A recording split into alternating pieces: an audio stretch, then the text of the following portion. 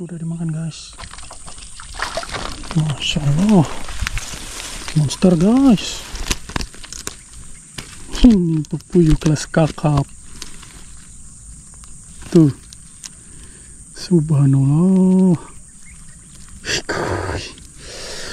Bikin ngiler cuy. Kelas kakap.